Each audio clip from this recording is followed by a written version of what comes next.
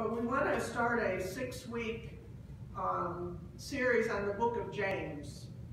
Practical, and we wrote a little study guide on that, Divine Guidance for Practical Living, because the book of James is very practical. And, you know, we're, in case you haven't figured out, Clarence and I are very practical ministers. We, we want to have the Word of God in, come into your life and help you with your everyday life. Just as much as, yes, we believe in the supernatural, we believe in the gifts of the Spirit, but we also believe that when you walk out of here, you've got a life to live. Amen. Amen. And you need tools. Yes. So the book of James is one of the, what is a very practical book.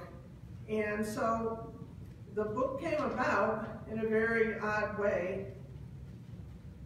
We got married in 2014 and most of you know, and I don't want to rehash everything, 2013 I had the worst summer of my life. I went into a depression. Nobody knew about it. I just, I went from home to work.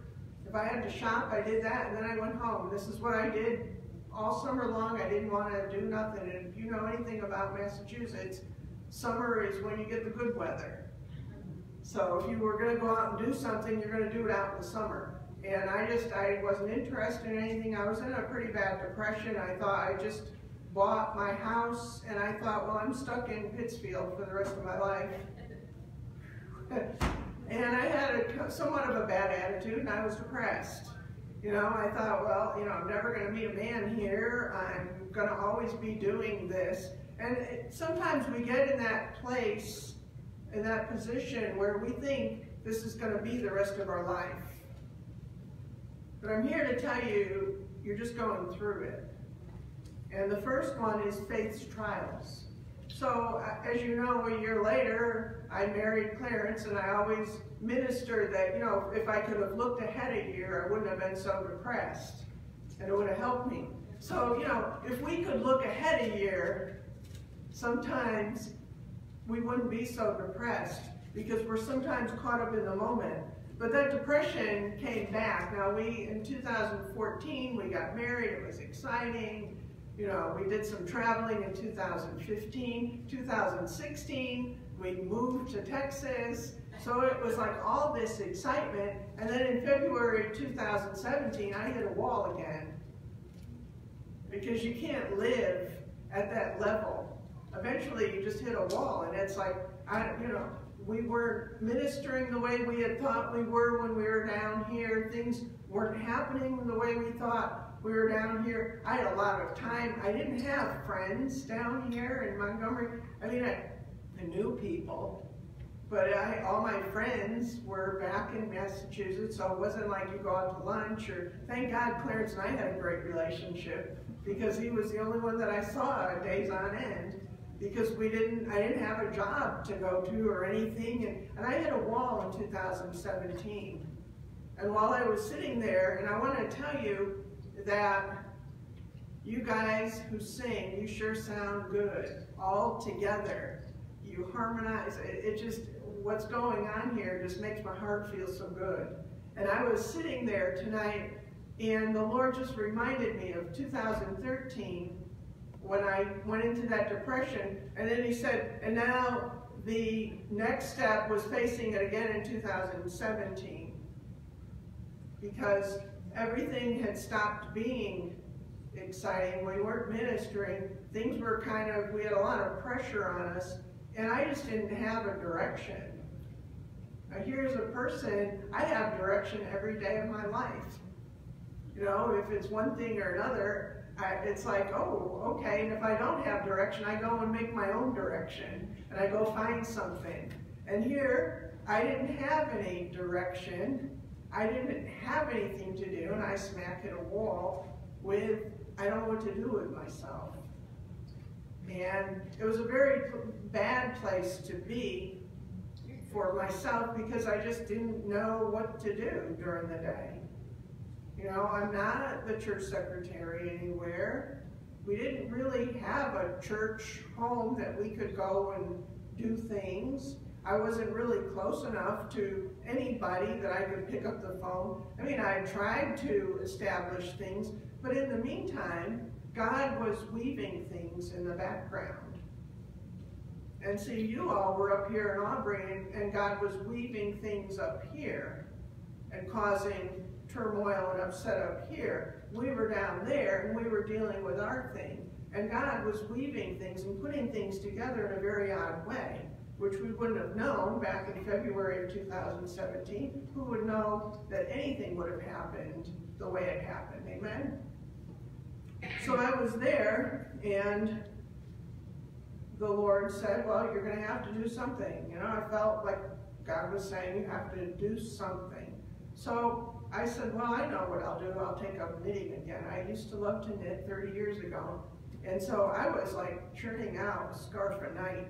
I mean, it was, we'd get, we'd go by Walmart and Clarence would say, baby, you need yarn? you know, I had him trained. I mean, it was, it was helping me because it was giving me a creative outlet. So I went from scarves to hats, I knitted a sweater, I knitted, a, I think I knitted a dog, so I don't remember everything I knitted. And I found out, geez, I really like this. This is really a good activity. And I know y'all like those little rose things that you got for Mother's Day. It's a compulsion with me. You know, I just finished a baby blanket and it was one thing that helped me through a time when I just didn't know what to do. And sometimes we get into a time where we just don't know what to do, and then we fall into a depression, so we stop doing everything. But this time around, I couldn't do that. First of all, he wouldn't let me do that anymore. I had an accountability partner. So number one, if you're going through something, get somebody who you can be accountable to. And that isn't going to let you wallow in your own stuff. So that was the first thing I did. The second thing I did was I looked outside of our townhouse. We had a beautiful pool. I started to swim as often as I could swim. That also became a compulsion for me. Now I can't swim.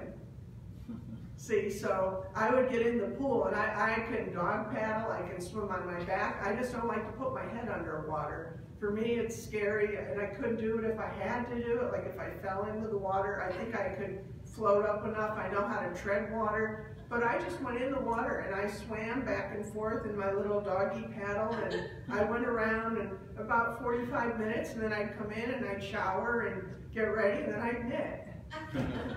and it got me through a time where I didn't know what to do with myself. And while I was going through, I don't know what to do with myself, the Lord said, get out some cassettes, what we were doing for the ministry at the time was he had a lot of, he has a, he had like 300 cassettes. I mean, I, I could take you to our house and you would say, wow, I can't believe you still have cassettes. We were taking the cassettes and putting them on CD, and then I was editing them, we were packaging up a series. So I felt the Holy Spirit lead me to, he did the book of James and I was listening to it, and I really felt prompted to start a study guide with that. So we co-authored it. I took his stuff, I read the book of James, I took notes, and then we put it together. So for the next six weeks, we're going to be doing it, and I'm not sure if I'm going to do all six weeks, or we're going to take turns, or whatever.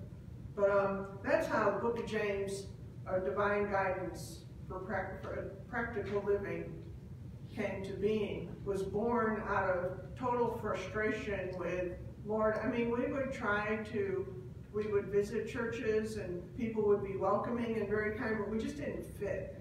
Did you ever go to a church that was great, but you just didn't fit? You just didn't fit anywhere. And we just didn't feel like we fit anywhere. But uh, And there was God up in heaven, and he was weaving and he was making a plan and he was doing something. So I'm telling you tonight, if you're going through something, think of God, that he's up in heaven and he's weaving and he's putting people together. Hey, even Clarence, who was a, lived in Texas all of his life, he had hardly heard, you never heard of Aubrey, did you? No. Okay, so God was weaving and putting things together. And when you're going through things and you're going through a depression or you're going through something hard, just think of God, that he's putting things together behind the scenes that you can't even see. And it'll help you to know that you're going through something, but there's another side. If you're going through it, there's a side to it. That's a, there's a beginning, there's a middle, and then there's an end to that trial. Somehow, some way, there's an end to it if you can hold on to it and put faith in God. And that's what I want to talk to you tonight about trials. Trials are unavoidable, they're inevitable, and they're good for you. All right, everybody goes through trials, saved, unsaved, mm-hmm. black, white, yellow, green, old, young, everybody goes through trials. But it's the way you handle them that makes us stand out between the saved and the unsaved, the Christian and the non-Christian. The definition, oh, let me just read James 1, 1 through 4. James, a servant of God and of the Lord Jesus Christ, to the twelve tribes which are scattered abroad, greeting. My brethren, count it all joy when you fall into diverse temptations, knowing this, that the trying of your faith worketh patience. But let patience have her perfect work, that you may be perfect and entire, wanting nothing. Okay, so the count it all joy part, I don't think we're all in for that. Amen. When you're going through something hard, you know, maybe you're different than me. My thing is when I'm going through something hard, I want my knitted blankie and I want to wrap myself up and I want to feel sorry for myself. All right? I'm not into the joy thing yet. You know, where you count it all joy. But you can see ahead of time now if you know that you're going through it and you can be mature enough. And I'm, I'm on the road to maturity. Okay? I haven't gotten there yet. I still get frustrated when things don't go my way. Amen? Am I talking to anybody in here? My God, some of you people have been Christians longer than I have been born. And so you have been through things. And you know that when you go through them, counting it all joy is difficult to do. do does anybody? You know, when you're going through health things, you know, how many are going, yeah, I'm going through health things and I'm going to be a winner in it. No, we kind of maybe have that initial reaction, is, but then, you know, the reality sets in and it hurts and, and you can't get out of bed because your joints are, or you can't do anything because your body won't react right or, you know, if you're going through something financial, it's like, well, you know, I, I don't know what I'm going to do. It's the first of the month. We've got to pay this, this, this, and this. Or if you're going through relational things with your kids or your husband, and it's not a joyful experience. But he says to count it all joy, so we have to do it spiritually. We have to do it within our spirit. We have to see something bigger. We have to know that God's up there and He's weaving things together for us so that maybe right now things don't look so good like it did in 2017 in February. Maybe right then things didn't look so good, but God was putting things together. You know, maybe in this church things didn't look so good a year ago, but God was putting things together. See, and maybe you're going through something right now where it doesn't look so good, but God's putting things together. That's why we can count it all joy, amen? Because if we have confidence and we have the maturity and we have the spiritual vision, we can see that God's putting something together for us. Amen? So the trial is a test of faith, patience, or stamina through subjection to suffering or temptation. Um, definition two is a source of vexation or annoyance or a trying or a tryout or experiment to test quality, value, or usefulness. So that's what the definition of a trial is. So it's it's a test. It's something that go that we either we have self-inflicted ourselves by disobedience. Sometimes our tests and trials are because of our own self-will and we've disobeyed, now we're in a mess. And sometimes it's a God thing, like with Job. You know, he was tested and tried, but he really didn't do anything to, to, to get that. God said to Satan, have you considered my servant Job? And it was like, no, well, oh, you know, he's got a little bit of his hedges down. But God had to point it out to him because God was going to show something and demonstrate to us everything in this Bible is for our good and for our future. So he said, I want to demonstrate something to Aubrey Faith Assembly. And so we're going to have to put Job through these trials. Amen? So everybody faces challenges. What's the end result of the trial between a saint and a sinner? What's the end result? And it's how we, it's our attitude. It's how we perceive things. You know, our response to trials, what is our response to trials if we get an answer from God that we don't like? You know, what if we've prayed and, and our loved one dies? What if, um, you know, we, we have to file bankruptcy because there's no other choice? You know, what if our husband walks out on us? What if we pray and the answer isn't what we wanted? Did God still answer prayer?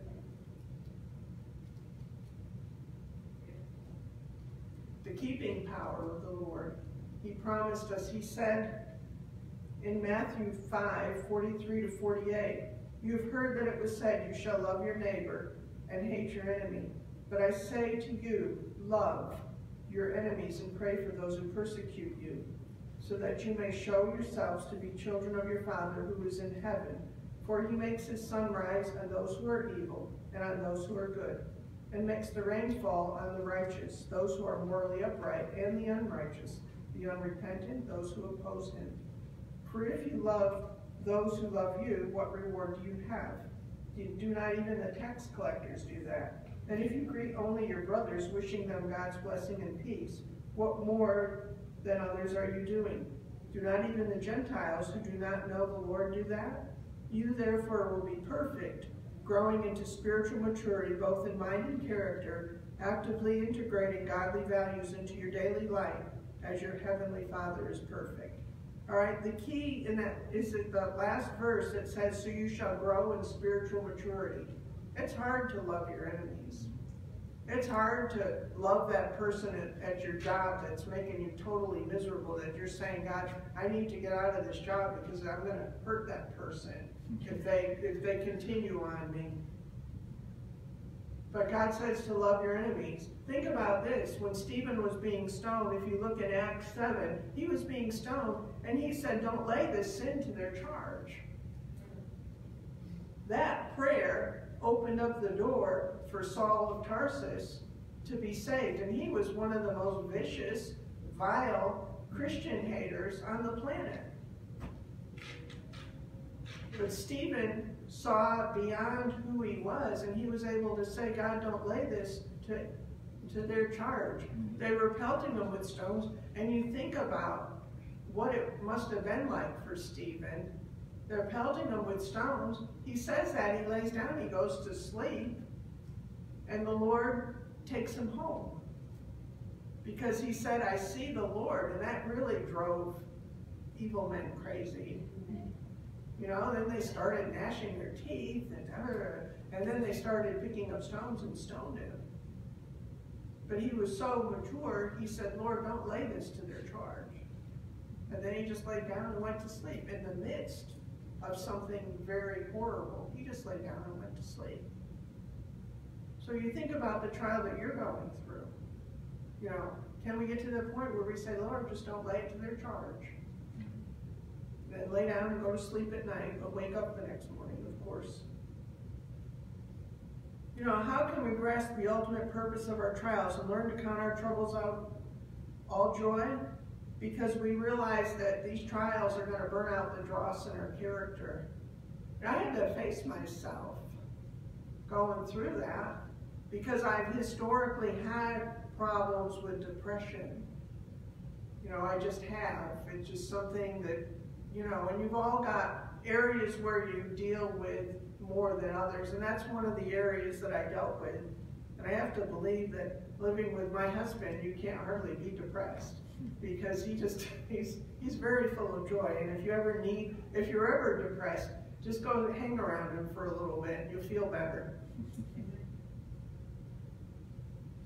But as we mature, we learn how to pray the perfect will of God and to walk every day in the joy of the Lord, not depending on natural circumstances to create a good day for us. He could be having the worst thing happening to him and you would never know it. You don't mind if I brag on him because he is he is my husband. But um, you know, I've watched him go through stuff and it doesn't affect the way he treats others. He's very kind all the time. You would never know whether he's going through anything. And so it's good to rub shoulders with him because I, am learning something from him. I'm watching his walk with the Lord and I'm saying, wow, it is possible to live this life. It is possible to have victory over these things. But see, I had to go in 2017. I had to face that giant again. So don't think just because you've faced something once that it's going to be over with. There's going to be like a retest. Just like a, think of it as a refresher course. You know, we're going to see how much you really learned on the first time. And if we know that our trials have a purpose to them, it makes it a whole lot easier. I mean, the people in the world go through bad stuff all the time, and there's no rhyme or reason for it. It's like, you know, if you believe in karma or coincidence, or, you know, then people just go through stuff, and, and there's not any reason for it. We can go through stuff and have a purpose for it. We can say, all right, Lord, this is hard, but I know that what you're doing in me, you're burning out the dross, you're opening up my eyes, you're helping me to be a better person so that I can minister to somebody else. Even if you're not a minister, like a licensed minister, you're still touching people's life every day. Everybody in here touches somebody's life. And how you react to pressure, don't, don't you know that people who aren't saved are watching your life? They're watching to see what you do. They're watching to see what you're going to do. How big is your God? They're going to watch you to see how big your God is. So if you go through and have a nasty attitude, even that's okay because you can turn around and tell somebody who's watching you, you know what, I'm having a bad attitude and I'm sorry, but God is still working on me. If we can get humble enough where we can say, I'm sorry, you know, that I've had a bad attitude over this. It's not a crime to have a bad attitude. It's a crime is when you try to hide it. Because we all have attitudes at times. We all have things at times. And that's not the crime. The crime is not having it. The crime is hiding it. And the crime is acting like you're perfect when you're not perfect. And that's when you're going to lose your joy. But when you get it out in the open and you say, I'm dealing with this and I need help, you're 90% helped because you can get it out in the open. So he says, count it all joy. Not easy to do, but we know that it's a purpose so we can count it as all joy. Even if you have to say in your soul, man, this is joy. Hello, we're going to count this all joy. And then your emotions are going to catch up with your spirit, man. See, because we're a three-part being, spirit, soul, body. Our spirit should be the leader, but often our emotions are the leader. When our emotions lead us and we don't feel like it because we're depressed, we don't feel like it because we're this or we're that, then our emotions are leading the way. And what God does during these trials is he takes that and he tries to hone us down so that our spirit man can rise up above that and say, well, you know, even though I don't feel like going to work today, I'm going to get up and I'm going to take my shower and get dressed and I'm going to go to work and I'm going to have a good attitude about it. And then you've won something in the spirit realm. Instead of saying, well, you know, I got to go to work and I'm going to go up and I'm going to shower and get ready and I'm going to make sure that they all know that I have a bad day. Now, we don't ever say that, do we? But boy, sometimes we let people know that we're having a bad day. So James says, count it all joy when we fall into diverse temptations. Here's why trouble works endurance. Works patience. We work out our personality flaws. We confront and conquer bad habits and we increase our faith in God's plan. When we receive an answer to our prayer, we gain more confidence in God. You know, trials and troubles makes you sometimes press in more to seek the Lord too. Have you ever had a desperate need and told the Lord about it and God sent somebody to help you? It's like, wow, you know? Such joyful time when prayer is answered, not only for you, but for the person who answered it. It's like, wow, they heard from God, and they're excited, and you're excited. It confirms to both people that God is real. He's prayed, he heard your prayer, and he touched the heart of someone else to be a blessing. Our trials and troubles can work patience in us if, if we understand that there is a God and he's our Father who's personally involved with you. He's your Father. Tonight, if you're born again, he's your Father. He's not just your Creator, he's your Father. And he is personally involved with you. He sees your struggles. He sees what you're going through. All right, our trials can work patience in us if we understand that our God answers prayers. And he answers our prayers. You know, stop looking at other people and saying, oh, they're so lucky. They're so lucky.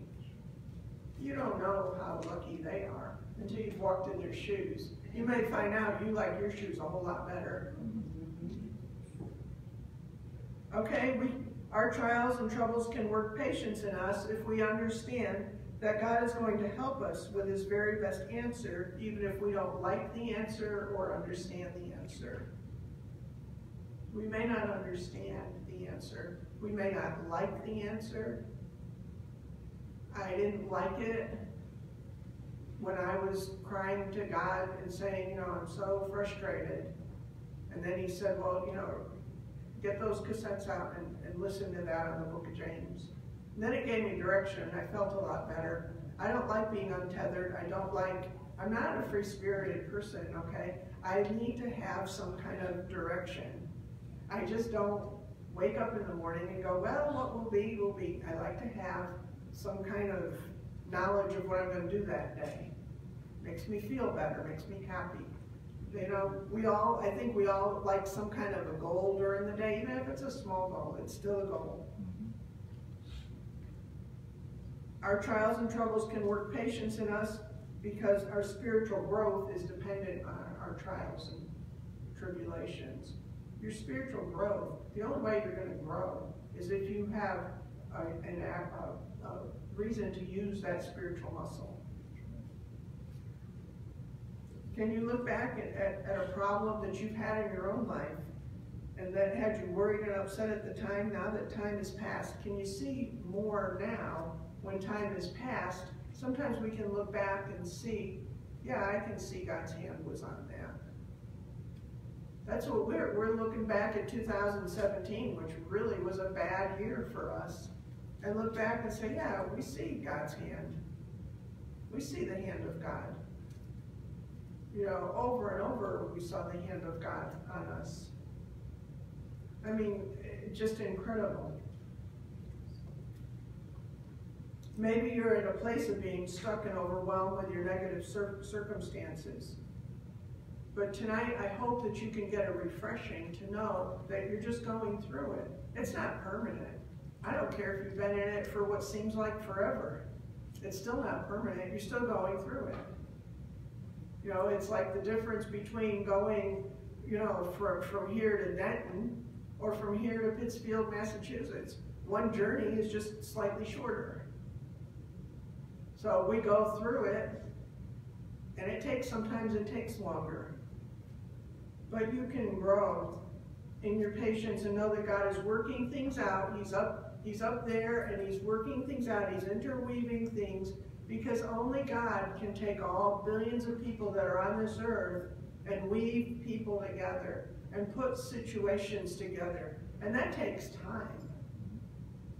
It takes time even for God to do things because then you've got people's wills involved and you know, you've got circumstances and all these things involved and it takes time for things to work out sometimes. It, you know, I don't know exactly everything about that, but I do know that you can go through the prophet, the process of your trial with confidence, knowing that God will help you and that it will work out in the end, somehow, some way. And sometimes we go through these things and it's not for our benefit, but it's to help somebody else.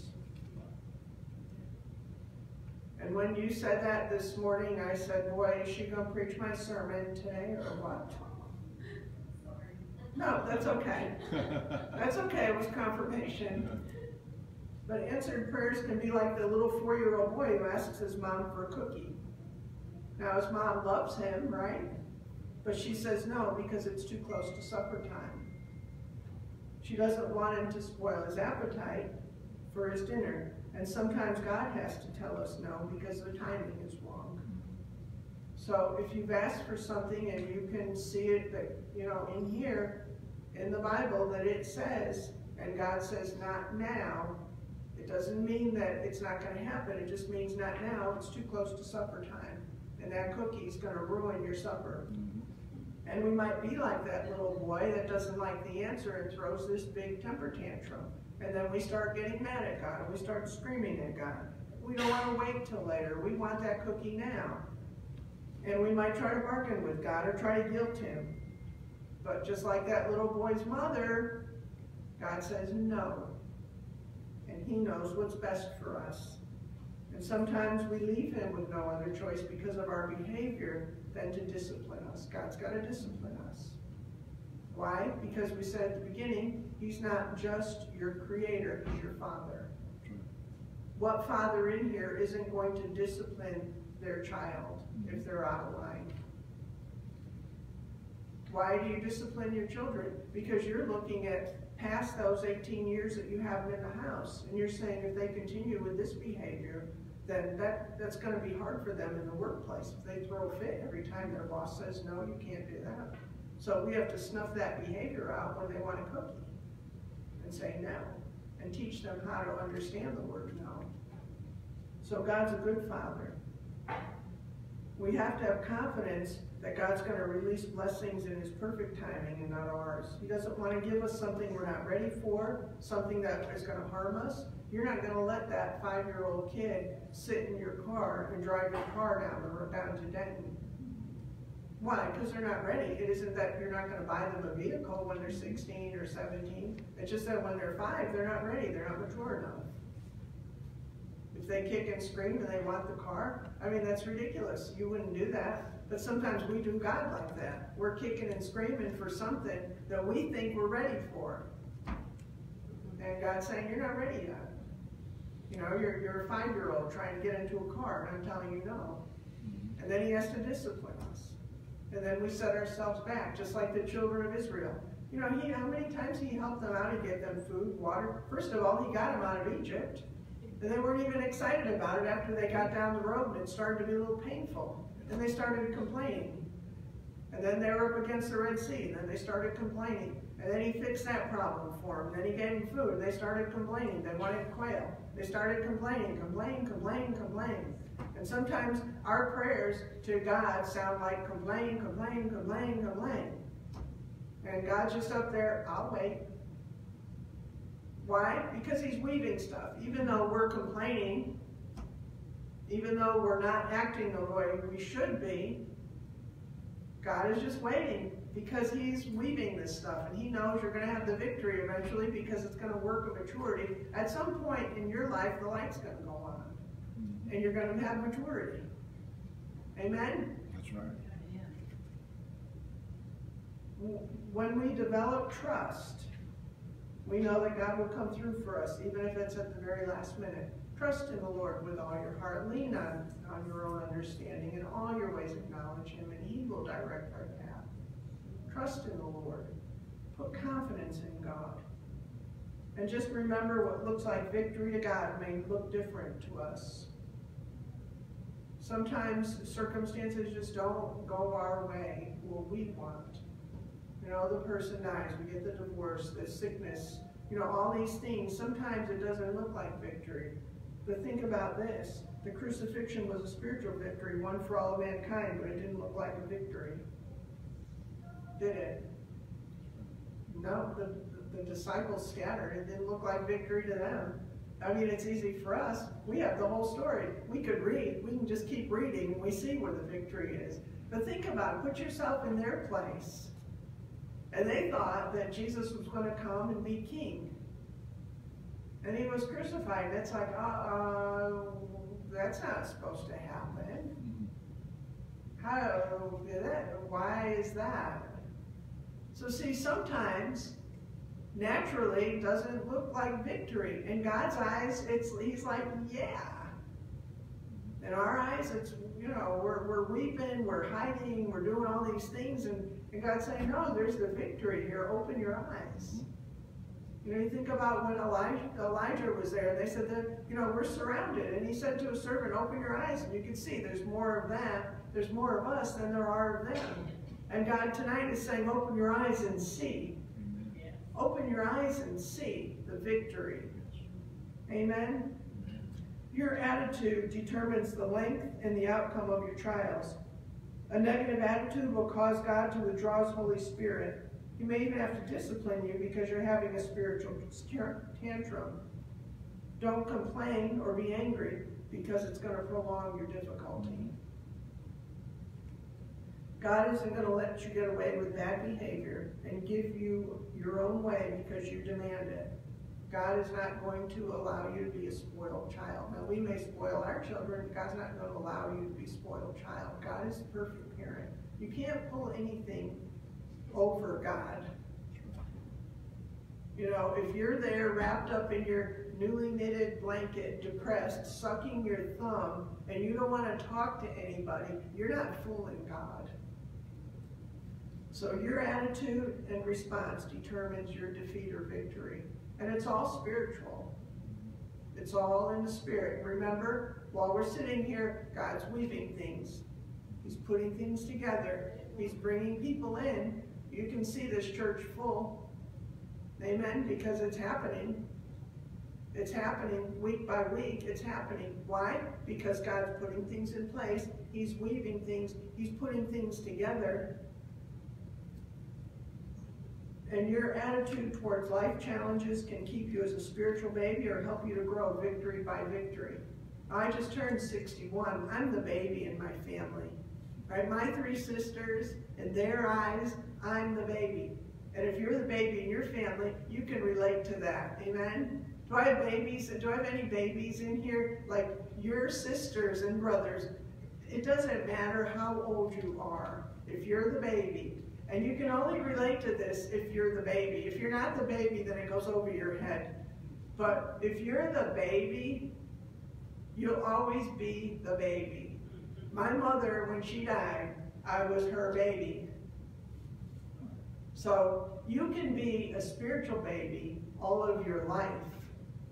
Just like I am the baby and I get to pull the baby card if it happens. Sometimes I pull the baby card with him. Sometimes he lets me get away with it and sometimes he makes me not pull the baby card.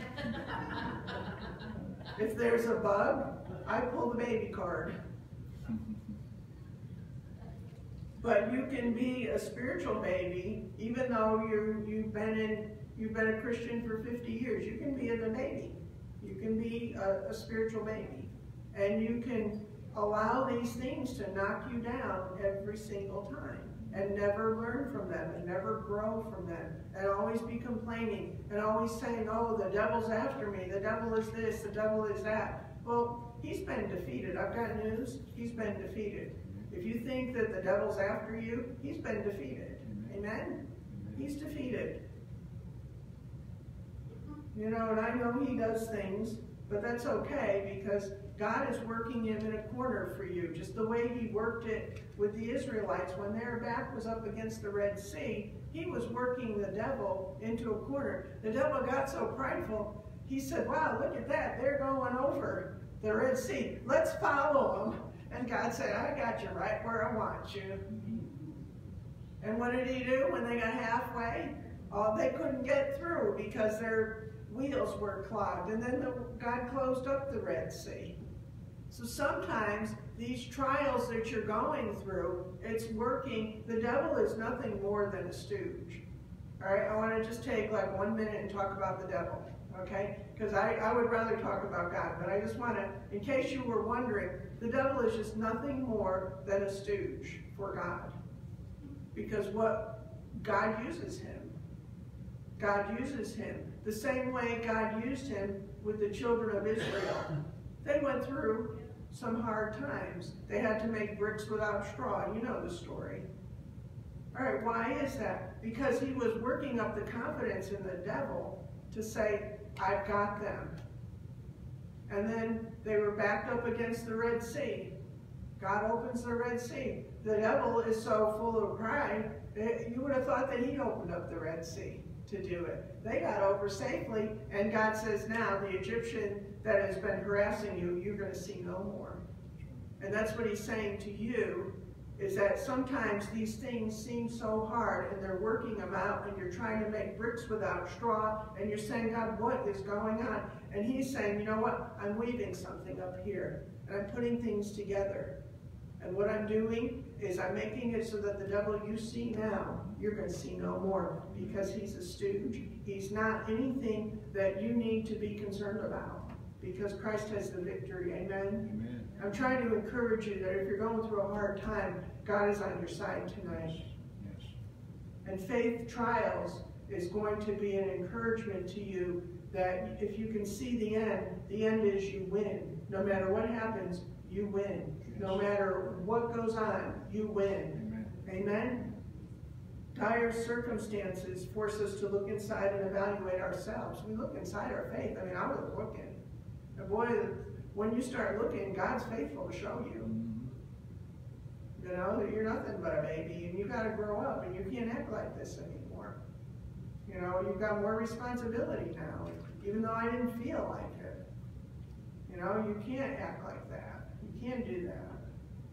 Trials force us to use our spiritual muscles to make them stronger. And as we grow spiritually, we're able to handle tests and troubles better. Tests and trials strengthen our relationship with God. See, it'll push you closer to God, or it'll push you further away, depending on whether you're acting in your emotions and then you get mad at God, you don't want anything to do. You know, why, why, God, why are you doing this?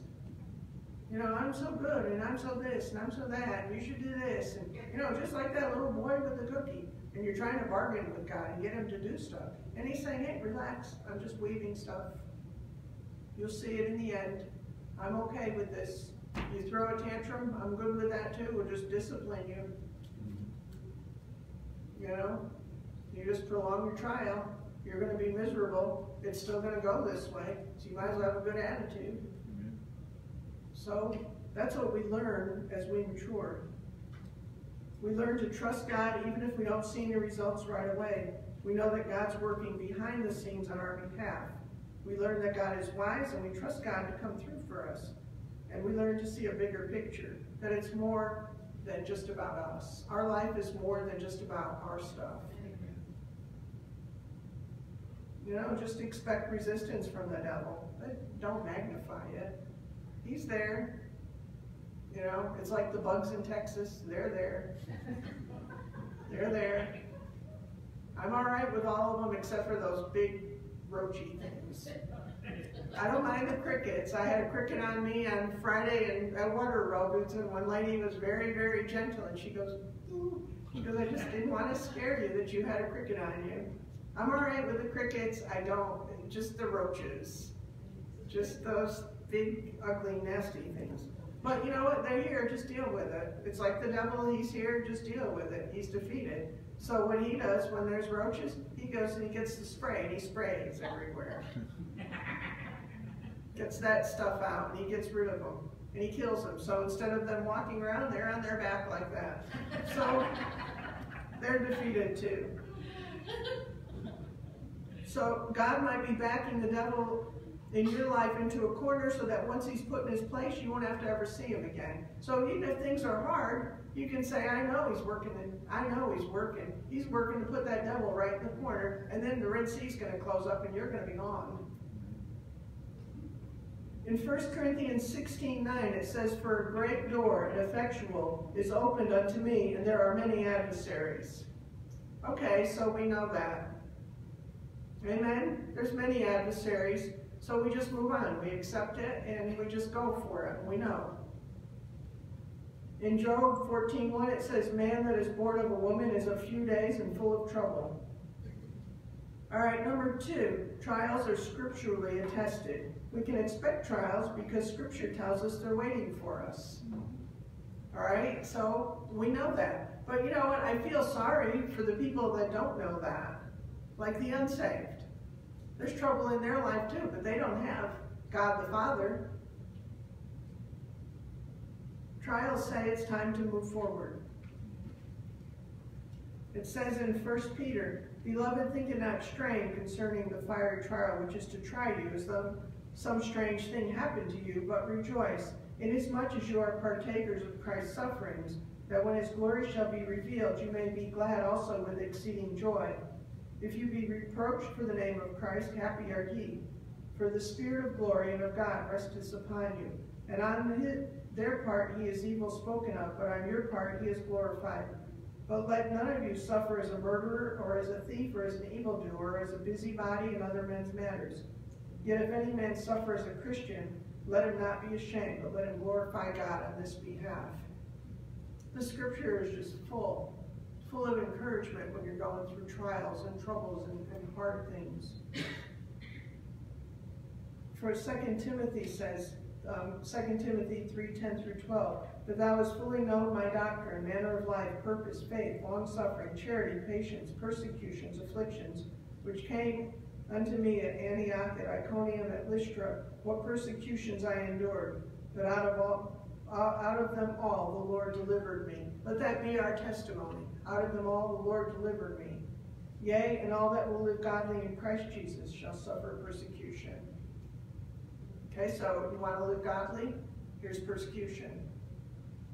You're going to get it. We can see it in this country. If you can't see it, then you're living under a rock because it's coming to us.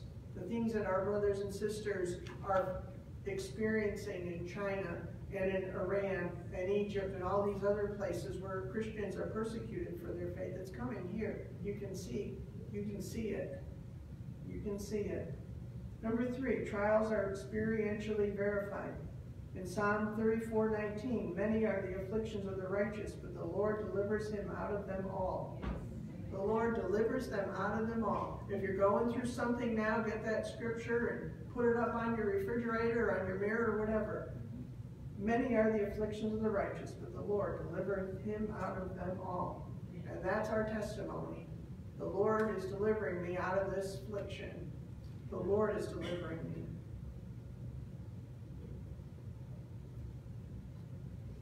The trouble we even bring on ourselves can be used for our good if we if we can see what we did wrong. I mean, let's face it, we all mess up, right? We do, we all mess up. But if we repent and change our actions, God can help us get out of that mess. So he doesn't just leave us alone, even when we do it ourselves. He's there to help us. Why? Because he's a good father. He's not a bad father, he's a good father, and he loves us. And remember, in persecution, we need to learn to thank God that he is going to get us through it and that there is a greater good. You've got to believe. Some of the things that people go through, you've got to believe that there's a greater good, that somebody somewhere else is going to get some good out of it. You know, I don't want to waste the things that I've been through. I've been through things, you've been through things. I don't want to waste it and just get through it for my own sake. I want to be able to minister to people and say, look, you know, there is an end to it. This is what God did for me. God will do it for you too. Maybe not the same way, but there is a God. He's real. He's real. Every area can be touched, physical, financial, emotional. Satan will always attack you in the soul or the sense realm, but he can't touch your spirit. Your spirit belongs to God. You can have security that you are not backslidden just because you're experiencing troubles. You don't think just because things are happening to you that God's mad at you. Sometimes these things just happen. And, you know, it happens for our good. But sometimes, you know, we examine we say, Lord, why is this happening? Sometimes it's just bad teaching. You know, the cursed cause list does not come. Yes, that's true. Because it says it in the Bible. But it also says that the rain falls on the just and the unjust. Sometimes these things happen. You know, genetics, why do people get sick? I don't know. Genetics have a lot to do with it, even though we have a different bloodline. I mean, there's so many factors into why. I don't even like to say why some things, because I'm not God. I don't know why things happen, why bad things happen to good people and uh, You know, I don't know why. I think that's where we just have to trust God, that he's up there and he's weaving things and he's putting things together and we're going to have the victory in it no matter what. It says, these things in John 16, 33, these things have I spoken unto you, that in me you might have peace. In the world you will have tribulation, but be of good cheer. I have overcome the world. Amen. He's overcome the world. And he's using us. We have made our plan when we made Jesus our Lord and Savior that he can use our hands and our feet to go out and save and go out and be a witness to other people. You know, we have to choose between a normal natural reaction or a response that's influenced by God's word when we get trials and tribulations. We have, we have a choice. We have to choose. God's not going to make that choice for us. We have to choose how we're going to act. When troubles arise, do you automatically reach for the natural solution? Or do you begin to thank God for the answer as you seek his wisdom? You know, when something happens, what's the first thing you do? Now, God, I thank you that you're going to show me. I don't know how we're going to get out of this. I don't know how, you know, what's going to be the end of this sickness. I don't know what's going to be the end of this, this domestic problem. I don't know what's going to be the end of this financial problem or this emotional problem. I don't know what the end is, Lord, but I'm, I'm looking to you for direction because you said the steps of a righteous man are ordered by the Lord. So I want you to just take me, Lord, and show me how to get through this because I don't know what to do.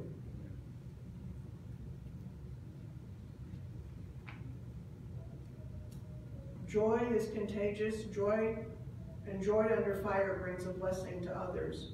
A grumbler places limitation on his usefulness to God. Grumblers are no fun to be around. If you ever had a big project and you've got a grumbler, it's like, would you just please go somewhere else? It's not helping. You know, we we've had things go when I was working you know, in the working world, not that I don't work now, because I kind of do, but when we were working on projects and had a lot of people around and something would go wrong, you know, you had those people that want to grumble right in the middle of a crisis. And it's like, you know what, afterwards, we can, let's have a meeting and talk about it. But right now, we really shouldn't be grumbling about this. We should just all work together so we can get through. Like if something seriously goes bad with a VBS day and you know, your kids are running all over and, you know, they're, they're just going nuts. It's like, not, that's not the time to grumble about what we should have done. Let's just corral them all in, sit them all down, send them on their way, and then afterwards we'll talk about it. You know, don't be the one that's in the middle of the stream complaining. You know, we're, we're in the middle of the stream. We can't go back. We can't go, you know, we got to go forward. But don't be the grumbler, the complainer. Yeah, things go wrong and things we didn't think about until you're like, oh yeah, well maybe we should have done that or we should have, well let's have a meeting about it. We'll meet afterwards, but let's pull together now. And there's some people that just love to complain about everything. You know, don't be that person.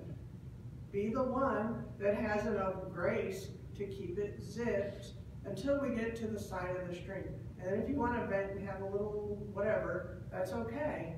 You know, I understand you're going to blow off steam and then let's sit down and get a constructive thing. But don't be the one always complaining, well, why does this always happen? And why well, sometimes, especially in church work, there's not enough workers, and so something falls through the crack. Sometimes, you know, I didn't go to school for any of this.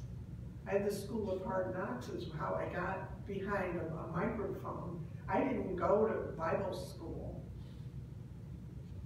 So, you know, I don't know some things that maybe I should know or whatever. So, uh, anyways, but don't be a grumbler. I don't know, I guess that was kind of free, wasn't it? Elijah was spiritually exhausted as he sat under a tree and begged God to die. Before that, he had courageously confronted Jezebel's prophets. God took care of him out of his mercy. And he recognized Elijah's state of mind was due to spiritual exhaustion. We can get spiritually exhausted. You, know, you can't do everything all in one day. You got to take a rest. You got to sit back. You got to do something. So don't think you got to do everything in one day. Pace yourself. Paul and Silas, imprisoned in Philippi. although it looked like a negative situation for Paul and Silas, an entire town was saved because they were in that jail. Think of that. The entire town was saved because they went to jail. You know, does that blow your mind? It blows my mind every time I read that story. It's like God, they wouldn't have gotten saved. That jailer wouldn't have gotten saved. You know, I guess some people just need the fireworks of a huge earthquake and you know, and, but God will do that if that's what it takes to get that guy saved. God would make an earthquake and do all that and put somebody in prison who would be smart enough not to complain but to sing praises to God. I mean, the whole story is just, to me, it's an incredibly mind-blowing story. That if he hadn't been put in prison, that whole church wouldn't have been started. You know, just think about it the next time you read that story. You know, if he had prayed and, and said, God, you know, you know I don't deserve this, and he was down in prison, and I mean, it wasn't it wasn't like the prisons now. I mean, they, they were sitting on a dirt floor, they were naked, they had already been beaten, and, and he was just sitting there, not feeling sorry for himself. He was singing praises to God. And the whole prison system, they, they all got saved. Mm-hmm. So he was there. It wasn't a good thing for him, but God got so much glory out of it. And if you study Paul's life, you'll see that most of his Christian life was spent in trouble, and yet his life glorified God. Today, many Christians are caught up about the blessings of God and how to live a happy life. You know, the trials you go through are going to help somebody. And that's what you need to tell yourself is, this is going to help somebody else. You already got your salvation. You know, it says that God looks at the unseen. While we're looking at the scene, we're, we're fighting that daily battle. God's up here and he's putting these things together in the unseen. And he's using our lives to put these things together because he so loved the world that he gave his only begotten son. He doesn't want one person to perish. And sometimes your life has to be held up as a living sacrifice. And sometimes it's not comfortable, and sometimes it hurts. But is it all worth it if one soul gets saved because of what you've been through? Amen?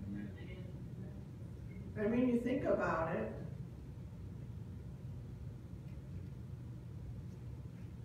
You know, joy is one of the fruits of the Holy Spirit. It's an incorruptible attribute that comes from our spirit, not from our soul or our senses. You can't touch my joy.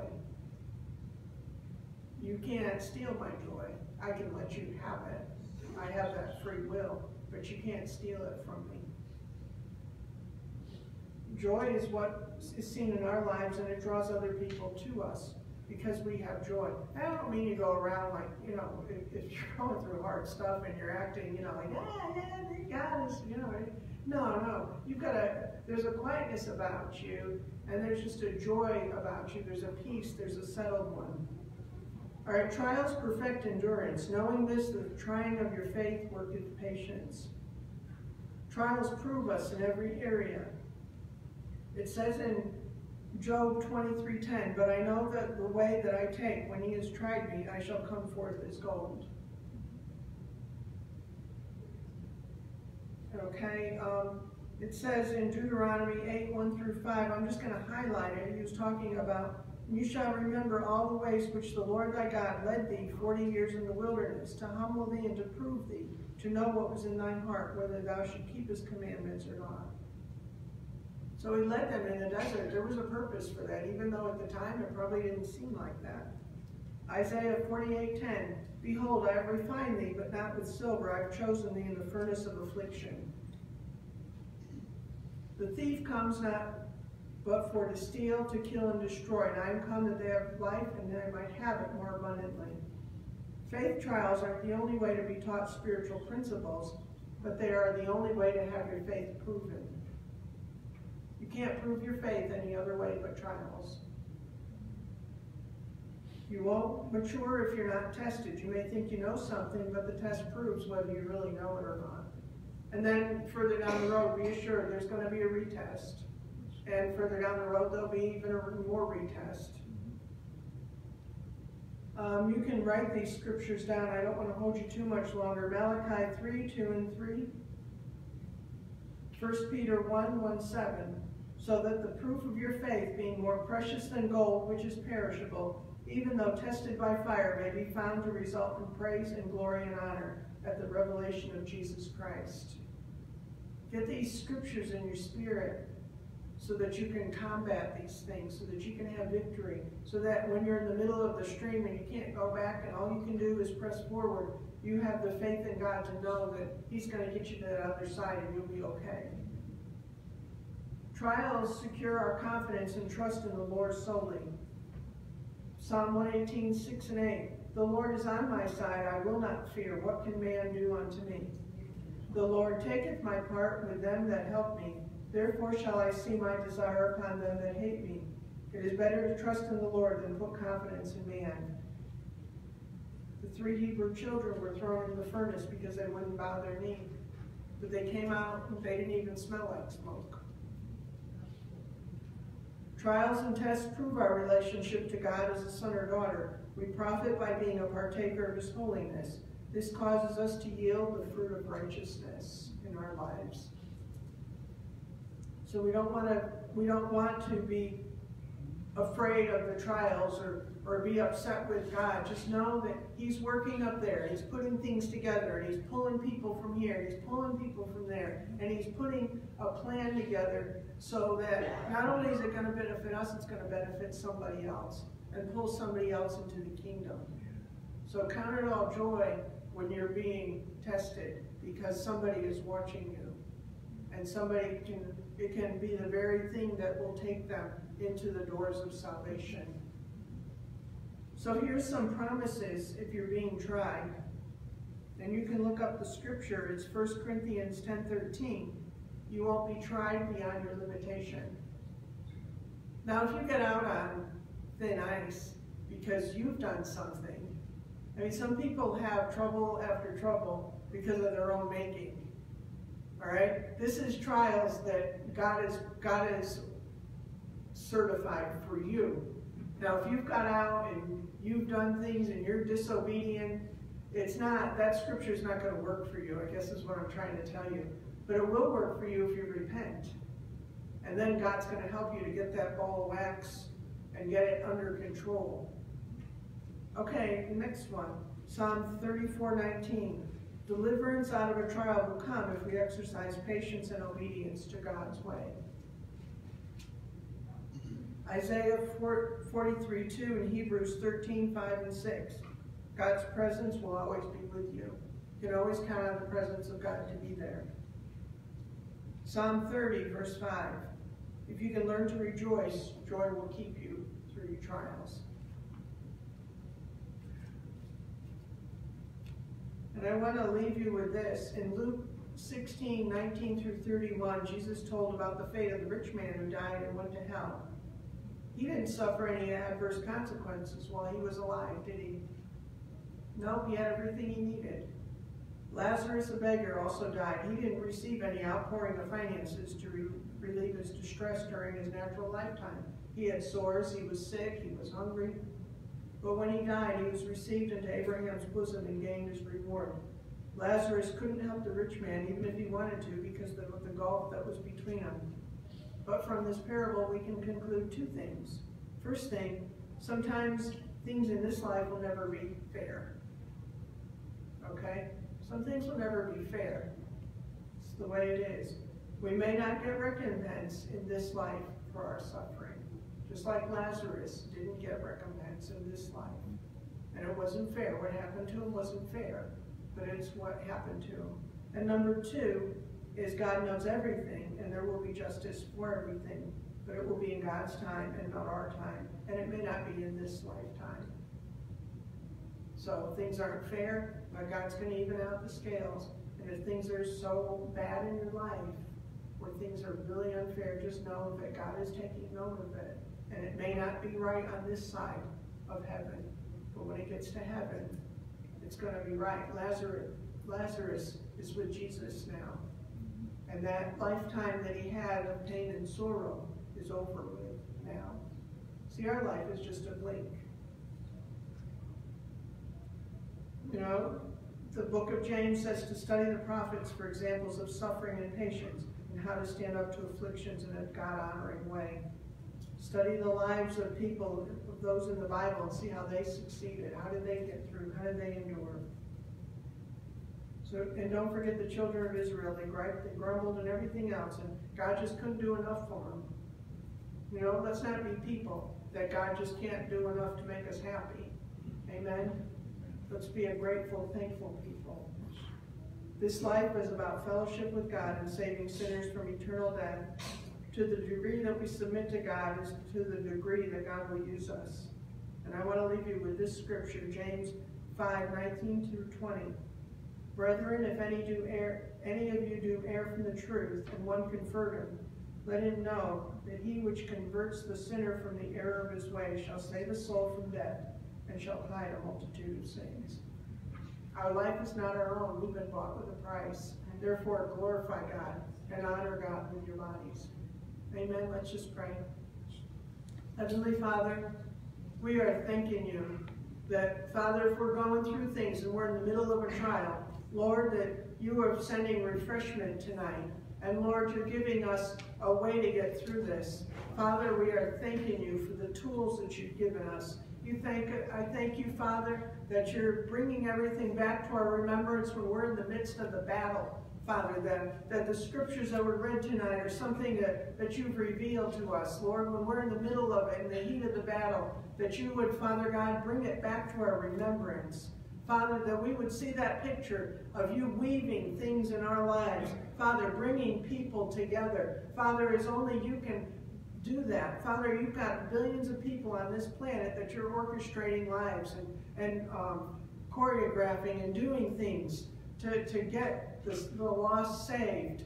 And Father God, we are thankful as we submit our life to be a living sacrifice that we do indeed count these things as all joy.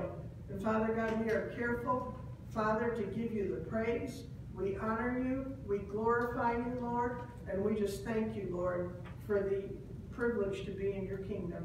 In Jesus' name, amen. Praise God. Well, you know what? We go through things. How many's ever went through a trial? How many wants to go through a trial?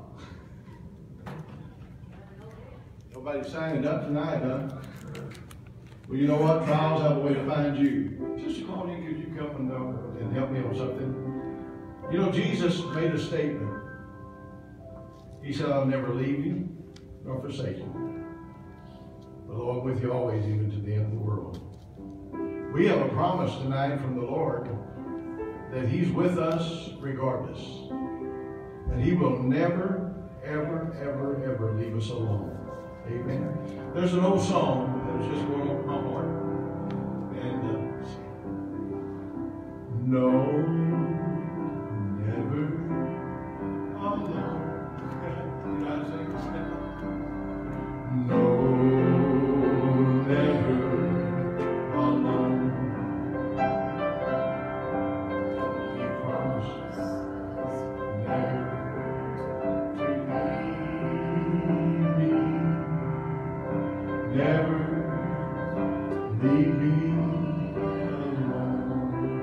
believe God's with you today? Let's sing that one more time. Alone.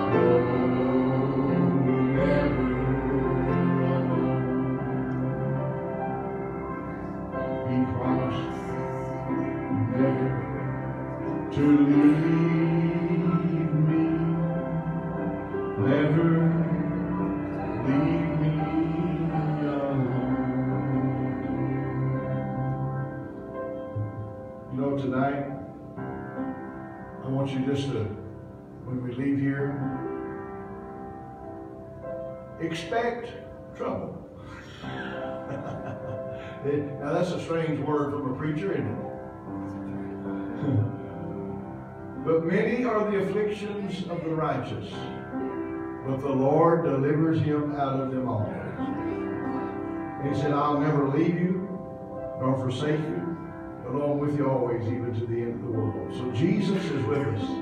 Listening that one more time. Listen, if you're going through something right now, just let God's presence minister to you. Because listen, He's He is with you right now. He's never left you. He'll never forsake you. He's not going to leave you in a lurch. He's going to be right there and see that you go through this thing. Praise God. Because what happens, just as Pam was teaching, when you go through it, guess what? All that old dross and all that garbage is burned off. Praise God. Oh no, never alone.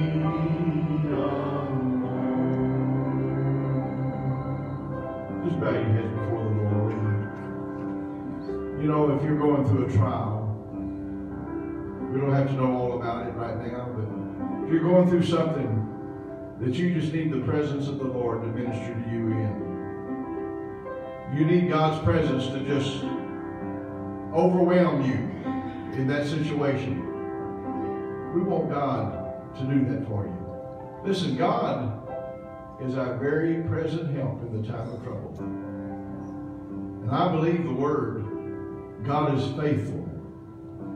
What we cannot take because he knows what we're made of, but he also knows what he's made of. He's a God of love and a God of power. And, and tonight, whatever you're going through, some of you may be going through something personally, physically, emotionally, whatever it is.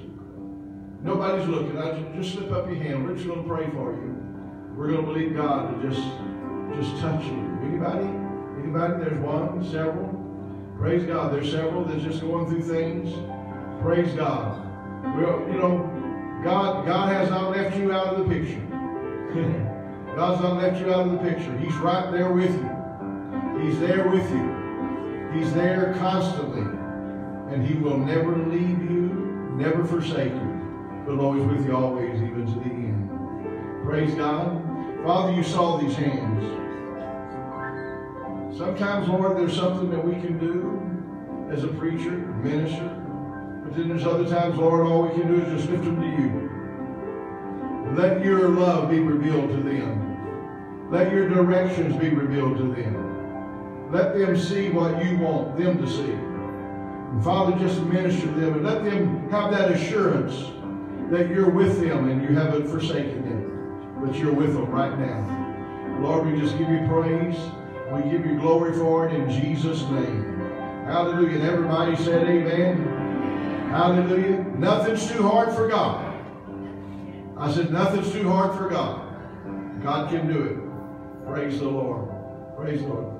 We want to, Brother Kruger and, and Doris, they moved this past week from Pilot Point to Aubrey. They're Aubrey'ites now.